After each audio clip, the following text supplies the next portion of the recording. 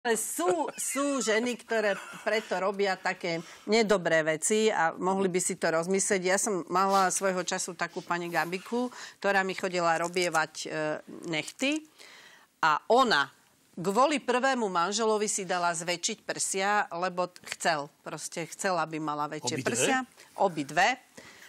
Rozviedli sa aj tak po čase, potom sa znovu vydala a dala si zase zmenšiť tie prsia, lebo ten zase, že nechcela, aby mala až radšej tak, menšie. aby mala radšej menšie. Tak ja som jej už do, vtedy hovorila, že toto není dobre, že takto to robiť.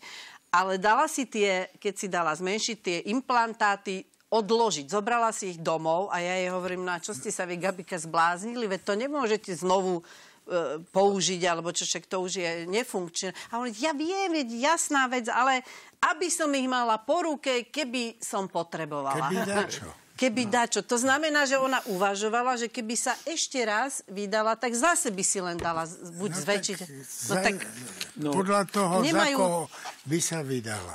Nemajú rozum tie ženy. Je to nedôstojné Podľa mňa- takéto. Ale hlavne, že majú prsia, to je Tak, dôležité. to je pravda. keď mala- Není zlé mať prsia, to je pravda. Keď si dala urobiť tie menšie, tak tie implantáty mala poslať tomu prvému manželovi, čo má rád väčšie. Na pamiatku. No, no nie, aby si mohol sem tam Chytiť. chytiť Dobre, alebo či ja neviem, čo s tým robí. No, No. tak ja neviem, tak zase až takto rozmaznávať.